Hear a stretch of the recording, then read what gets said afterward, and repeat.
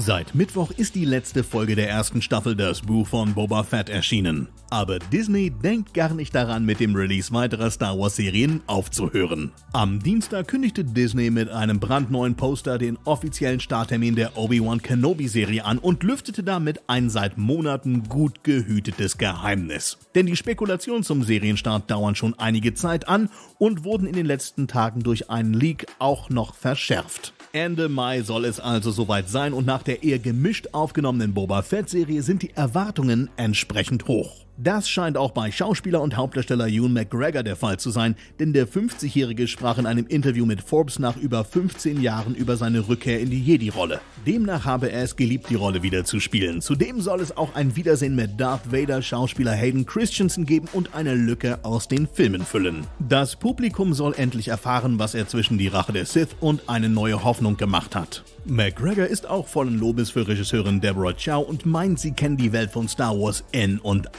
auswendig. Er sei außerdem der Überzeugung, dass die Fans mit dem Ergebnis zufrieden sein werden. Ganz schön hochtrabende Worte von McGregor, der keine Anstalten macht, die Erwartungshaltung der Fans nach unten zu korrigieren. Wie genau die Serie dann aussieht und vor allem, welche konkrete Rolle Anakin Skywalker alias Darth Vader spielen wird, könnt ihr ab dem 25. Mai 2022 bei Disney Plus herausfinden. Einen ersten Vorgeschmack könnte es übrigens beim kommenden Super Bowl geben, denn da erwarten viele einen ersten Trailer. Zeitlich würde es zumindest gut passen.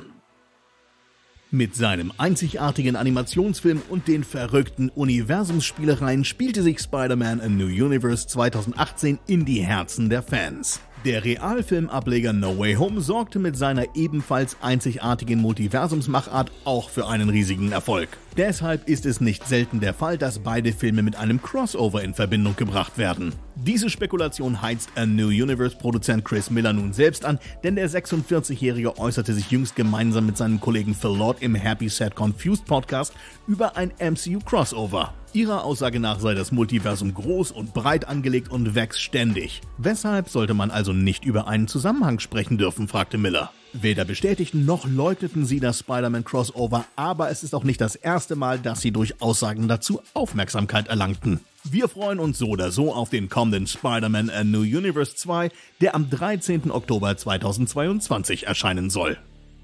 Seit Anfang des Jahres läuft der insgesamt fünfte Teil der kultigen Slasher-Reihe Scream in den Kinos. Mit einem bisherigen Einspielergebnis von knapp 110 Millionen US-Dollar hat die Neuauflage trotz Pandemie 10 Millionen US-Dollar mehr eingespielt als der vorherige Film Scream 4.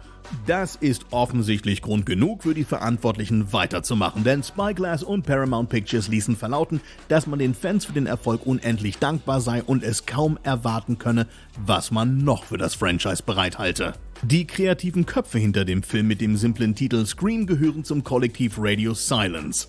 Das besteht aus dem Regisseursduo Matt Bettinelli-Olpin und Tyler Gillett, dem Produzenten Chad Villella und den beiden Autoren James Vanderbilt und Guy Busick. Scream ist dabei nicht ihr erster Streich im Bereich des Horrorgenres, denn sie konnten bereits mit VHS und Ready or Not für gewisse Erfolge sorgen. Die Dreharbeiten des Scream-Nachfolgers sollen im kommenden Sommer starten, weshalb ein Release im Laufe des kommenden Jahres realistisch erscheint. Fans der Reihe haben unterdessen noch in vielen Teilen der Welt die Möglichkeit, sich den aktuellen Erfolgshit in ihrem örtlichen Kino anzuschauen.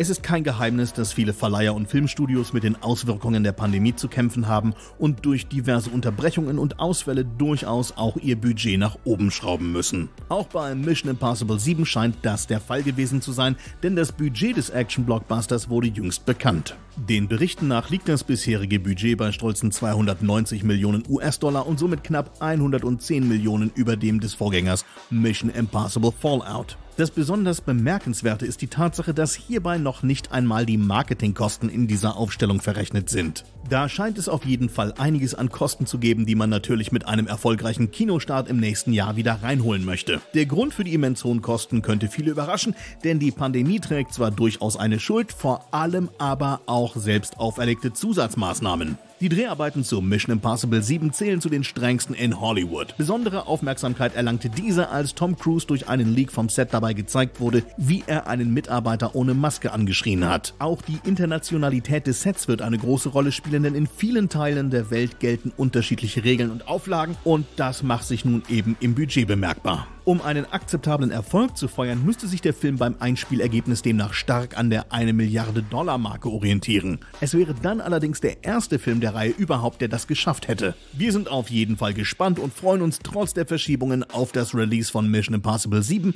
am 13. Juli 2023. Nicht nur die Sportwelt blickt gespannt auf den kommenden Super Bowl, denn auch Film- und Serienfans werden den ein oder anderen exklusiven Trailer erstmals bei diesem Sportereignis sehen können. Bei Amazons Der Herr der Ringe-Serie steht das im Gegensatz zu vielen anderen Premieren sogar schon offiziell fest, denn der Streaming-Riese selbst war es, der die frohe Botschaft verkündete. Das dürfte die entsprechenden Fans natürlich freuen, schließlich war bisher nur ein kurzer Teaser zu sehen, der kein Filmmaterial, sondern nur die Enthüllung des offiziellen Serientitels beinhaltete. Zusätzlich wurden jetzt erste Bilder veröffentlicht, die Eindrücke zu den neuen Schauspielern von Elrond und Galadriel sowie einiger neuer für die Serie entwickelter Charaktere zeigen. Des Weiteren gibt es noch einige Behind-the-Scenes-Bilder, die auf jeden Fall Lust auf mehr machen. Schaut euch gerne unsere News von vergangener Woche an, wenn ihr mehr zu potenziellen Trailern beim kommenden Super Bowl wissen wollt. Der Herr der Ringe, die Ringe der Macht, erscheint am 2. September 2022 exklusiv bei Amazon Prime Video. Nicht nur das Marvel-Universum scheint unaufhörlich zu wachsen, sondern auch Sony hat mit Venom Let There Be Carnage und dem Ende März erscheinenden Morbius wichtige Schritte in Richtung eigenes Universum unternommen. Gestartet wurde das SSU, also das Sony Spider-Man-Universum, durch die beiden Venom-Filme. Nun soll eine neue Figur die Bühne betreten. Wie bekannt gegeben wurde, hat man endlich eine Hauptdarstellerin für Sonys Madame Web gefunden, und zwar keine geringere als Fifty Shades of Grey Schauspielerin Dakota Johnson. Für sie ist das die verdiente Rückkehr auf die große Bühne, denn nach dem Erfolg von Fifty Shades of Grey spielte sie in den vergangenen Jahren nicht mehr in den A-List-Filmen mit. Ihre Figur Cassandra Webb, auch unter ihrem Namen Madame Webb bekannt, ist bereits seit über 40 Jahren Teil des Spider-Man-Universums und hat ihren ersten Auftritt in den Comics als alte Frau mit einer Muskelschwäche. Ihre körperlichen Einschränkungen kompensiert sie durch ihren brillanten Verstand, der ihr sogar telepathische Fähigkeiten verleiht. Außerdem kann sie in die Zukunft blicken, was definitiv eine der mächtigeren Superkräfte ist. Da die 32-jährige Dakota Johnson nun nicht für ihre Paraderollen als alte Frau bekannt ist, gehen wir beim neuen Madame Web-Projekt von einer Origin-Story über die Superheldin aus. Die Verantwortlichen hinter dem Kinofilm sind die Morbius-Drehbuchautoren Matt Sesama und Burke Sharpless, die die Vorlage für Jessica Jones-Regisseurin S.J. Clarkson geschrieben haben. Ein offizieller Kinostart für Sonys Madame Web ist derzeit leider noch nicht bekannt.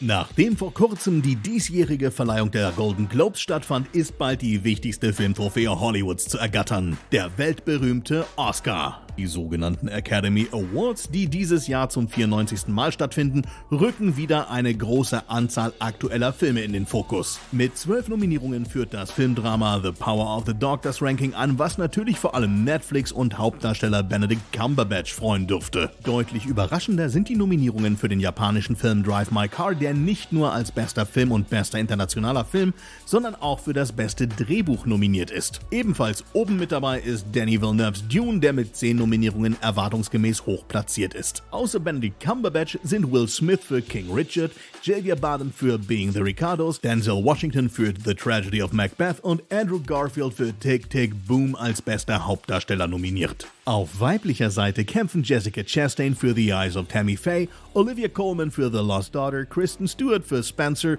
Nicole Kidman für Being the Ricardos und Penelope Cruz für Parallel Mothers um die goldene Trophäe. Auch Hans Zimmer ist wie bei den Golden Globes auf musikalischer Seite für seine Filmmusik zu Dune im Rennen. Chancen auf die wichtigste Trophäe für den besten Film haben nicht nur die eben genannten The Power of the Dog, Dune und Drive My Car, sondern auch West Side Story, Don't Look Up, Licorice Pizza, Belfast, Coda und King Richard. Der Zeitpunkt der Verleihung ist der 27. März 2022 im Dolby Theater in Los Angeles. Wenn euch unsere News zu Der Herr der Ringe, die Ringe der Macht gefallen hat und ihr den Trailer beim Super Bowl kaum erwarten könnt, empfehlen wir euch unser neuestes Kinocheck Original zu der Serie. Außerdem erwartet euch auf unserem Kanal der erste Trailer zum heiß erwarteten Jurassic World 3. Ein absolutes Muss für jeden Kinofan.